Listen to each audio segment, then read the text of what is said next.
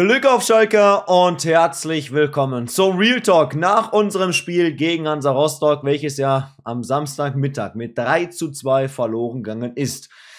Ja, ähm, wir reden drüber, über dieses komische Spiel, was es irgendwie war am Ende, ein extrem torreiches Spiel mit Emotionen, die mal gut waren, mal schlecht waren und am Ende auch zu Recht schlecht, weil man eben verloren hat gegen den Aufsteiger aus dem hohen Norden. Und natürlich ist Gesprächsbedarf da, aber ich muss sagen, auch einen Tag danach fällt es mir durchaus schwer, das Spiel in Worte zu fassen, irgendwie zu analysieren, was genau das Problem war, was man besser machen muss und was man vielleicht jetzt tun muss.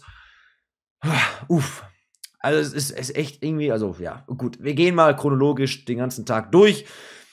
Es war ja ein Spiel ohne Thomas Ovian, das zum ersten Mal in der zweiten Liga Fragezeichen, weiß ich nicht, ich glaube schon. Ähm, sprich, Vorzeichen waren dadurch nicht ganz so toll, aber natürlich wusste man schon, Hansa Rostock, unangenehmes Team für mich, kluge Wintertransfers getätigt, sind seinem Abstiegskampf, aber zeigen für mich ganz gute Leistungen. Wenn ich mir auch die Spiele jetzt angucke, unter anderem auch, habe ich sie noch gut im Kopf gegen Werder Bremen, verloren, ja, aber trotzdem gut gekämpft. Deswegen dachte ich schon, es wird ein harter Kampf. Trotzdem habe ich uns irgendwie bewusst auch stärker gesehen. Ich habe auch 3-1 getippt gehabt und sie hat irgendwie ein gutes Gefühl für das Spiel. Auch oder trotz, dass Over nicht mit dabei war. Ich war durchaus überrascht, dass Gramotzis äh, Chalanoglu die Chance gegeben hat. Ich fand's toll, ich fand's gut, weil ich immer noch glaube, dass Kerem Chalanoglu ein großes Talent ist auf der linksseitiger Position, er hätte seine Chance bekommen und für mich in Summe diese auch genutzt. Ansonsten von der ersten Elf war ich echt positiv gestimmt. Matriciani hat rechts eine Chance bekommen nach Sitz zwei guten Joker-Einsätzen und eine Doppel-8 mit Salazar und Schulinov. Genau das hatte ich ja schon mal angerissen, dass ich mir eigentlich die beiden mal wünschen würde, dass die beiden, glaube ich, mal echt ganz gut harmonieren könnten im Mittelfeld. Und somit stand Rodrigo Salazar nach Sitz zwei, waren zwei Spiele, ich glaube schon zwei Spiele auf der Bank, mal wieder ersten Elf, was ja auch sehr, sehr viele Fans gefordert hatten. Also, an sich, Rahmenbedingungen ganz gut. Der neue Sponsor wurde vorgestellt mit Viva West. Den haben wir jetzt ins Boot geholt. Offiziell auf jeden Fall eben auch geritzt. Und somit konnte man dann am Samstagmittag dieses Spiel beginnen gegen Hansa Rostock. Und ähm, ja, man hätte es vielleicht doch nicht lieber beginnen sollen. Also es war ein ganz, ganz komisches Spiel. Erste Hälfte für mich, ich war im Stadion, ich habe seitdem auch keine irgendwie Zusammenfassung gesehen von irgendwelchen schrittigen Szenen oder sowas. Deswegen, ich sehe das alles immer noch aus Sicht eines Stadionzuschauers, der vielleicht auch alles nochmal etwas anders sieht oder schlechter sieht, sicherlich auch. Und deswegen erste Hälfte gefühlt für mich eine Halbzeit, klar mit vier Toren, mit zwei auf beiden Seiten.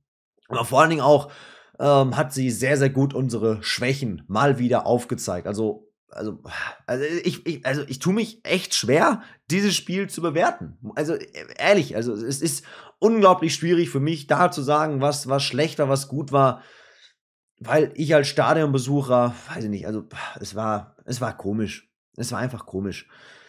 Gut, aber gehen wir mal kurz chronologisch die, die, die Partie durch. Also erste Hälfte fand ich fand ich nicht gut. Wir kamen überhaupt nicht rein in die Partie, hatte ich das Gefühl. Wir hatten ja sonst zuletzt mal ein paar Spiele, wo wir zumindest die ersten 10, 12 Minuten gut drin waren. Hatte ich gestern nicht das Gefühl, dass das so war. Ähm, wir waren irgendwie nicht da, warum auch immer. Und ähm, jetzt muss ich mal kurz, kurz gucken. Rostock ging ja dann nach 25 Minuten in Führung und das nach einem eigenen Eckball.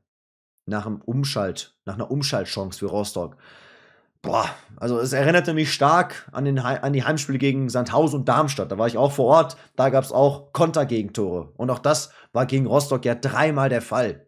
Also, dass man sowas sich abstellt, ärgerlich, unnötig, ganz, ganz schwach verteidigt. Und dann gleichst du in der ersten Hälfte zweimal so eine Konstellation wieder aus. Dank Simon Terodde, aber eben auch dank äh, Chalanuglu, der zweimal eine Flanke reinbrachte, einmal Bülter verlängert, wie so oft, einmal Terodde sofort da, dann steht es 2-2. Aber trotzdem hat für mich die erste Hälfte einfach gezeigt, dass offensiv oftmals der Mut auch einfach fehlt. Also das fand ich sehr, sehr oft der Fall. Die Abstimmung fehlt und leider Rodrigo Salazar ein Totalausfall war. Und der wurde auch in der zweiten Hälfte relativ zügig ausgewechselt. Und das war auch vollkommen richtig so. Ich weiß, viele von euch mögen Rodrigo Salazar. Ich auch. Ich fand es trotzdem richtig, dass er letztlich gespielt hat. Und die, die ihn jetzt gefordert haben, sehen es hoffentlich auch mal ein, dass er ihm aktuell, genauso wie leider seine anderen sechs Mittelfeldkollegen auf der 8, auf der 10, Probleme haben. Und genau das war auch mal wieder das Problem. Zweite Hälfte war es größtenteils echt Standfußball. Also das war offensiv sowas von ideenlos, sowas von mutlos. Wenn ich an Szenen denke, nach Einwürfen ging jeder Spieler nach vorne. Keiner hat sich angeboten, keiner wollte wirklich den Ball haben. Also warum ist man so verunsichert? Warum? Das muss man gar nicht sein. Wir haben eine Top-Mannschaft. die in der zweiten Liga um den Aufstieg mitspielen muss. Das tun wir zwar irgendwie, aber die auch eigentlich im Aufstiegsrennen mitführen müsste normalerweise, vom Kader her. Und da frage ich mich, warum ist man so verunsichert gegen eine gute Rostocker Mannschaft? Das soll jetzt gar nicht despektierlich gegenüber Rostock klingen. Die haben es die gut gemacht mit dem, was sie mitbringen. Die haben es top gemacht für das, was sie, was sie taktisch machen wollten und für ein Auswärtsspiel bei einer großen Mannschaft. Aber wir haben uns unglaublich schwer getan, unglaublich mutlos, unglaublich ideenlos. Dann hat er auch Gramotzes offensiv gewechselt, nachdem wir dann 3-2 zurückstanden. Und dann fiel irgendwann das 3-3 durch. Natürlich, Simon Terodde, 83. Minute war es. Und danach, danach war mal Feuer da. Zum ersten Mal noch von den Tribünen. Ich fand die Stimmung von uns Schalkern nicht so geil, muss ich zugeben. Ich habe aber auch sehr, sehr nah am Auswärtsblock gesessen. Vielleicht lag es auch daran, weil die haben eine Top-Stimmung gemacht, die Rostocker. Und ähm, nach dem 3-3, da war Stimmung in der Bude, da war Feuer in der Bude, da wollte die Mannschaft auch, da hat man auch mal Angriffe und Abschlüsse erzwungen. Ja, und dann hat man sich mal wieder einen Konter gefangen. Sehr, sehr, oder was heißt ein Konter? Es war nach dem Abschluss von Kolke. Sehr, sehr naiv verteidigt und dann fließt du 4-3 so ein Spiel. Und das macht mich immer noch, man merkt es ein bisschen sprachlos. Also, ich, ich, ich, also, also gut, viele ich will jetzt nicht sagen Besserwisser, aber viele Schalke-Fans sagen jetzt, Gramotzis muss raus, der Spieler ist scheiße, der muss raus. Ich gehöre da einfach nicht zu und ich sage nicht, der Trainer muss raus. Ich hab, ich, das sage ich aber auch bei jedem, also bei ganz vielen anderen Mannschaften, nicht nur bei Schalke, weil irgendwie für viele vielleicht der Gramotzis-Fan, das bin ich nämlich nicht. Ich bin genauso Trainerkritiker äh, wie bei anderen Vereinen, aber es ist mir, es ist mir einfach zu einfach, alles nur am Trainer festzumachen es ist mir einfach zu einfach. Also ich bin kein Fußballtrainer, ich bin kein professioneller Fußballspieler, ich bin einfach nur Fußballfan.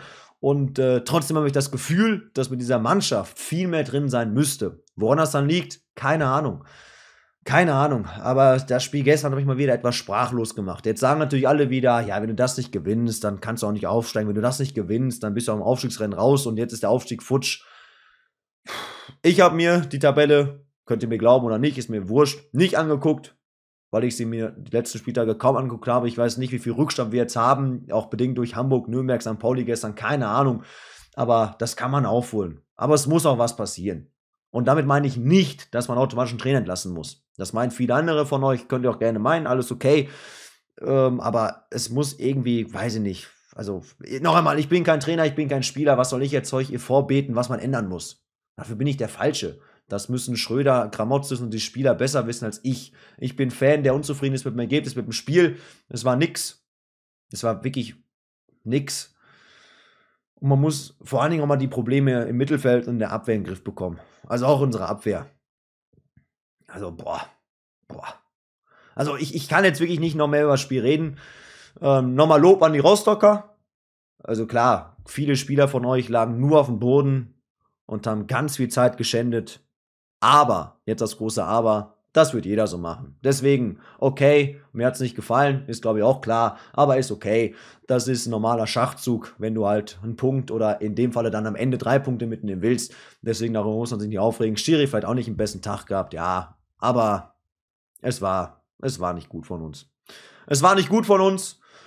Ich denke mal, da sind wir uns alle einig, was man da jetzt für Schlüsse zieht, das soll jeder für sich machen. Ich sage, man muss irgendwas anders machen den nächsten Spiele. Was genau, weiß ich nicht. Dafür bin ich der Falsche. Ich bin dafür da, meine Meinung mit euch zu teilen, euch eine Plattform zu geben, auch eure Meinung zu teilen. Das könnt ihr gerne machen. Und dann sehen wir uns im nächsten Video wieder. Heute mal irgendwie anderer Real Talk, nicht so laut, nicht so, nicht so diskussionswürdig, weil mir fällt nicht viel ein zu dem Spiel. Mir fällt wirklich nicht viel ein. Ich überlasse es lieber den Besserwissern. Denen fällt vielleicht etwas mehr ein als mir. Also, eure Meinung zum Spiel gerne mal in die Kommentare. Checkt auch gerne meinen Stadion-Vlog aus. Ich war ja vor Ort. Und dann sehen wir uns im nächsten Video wieder. Macht es gut, ciao. Und Glück auf an alle Schalker.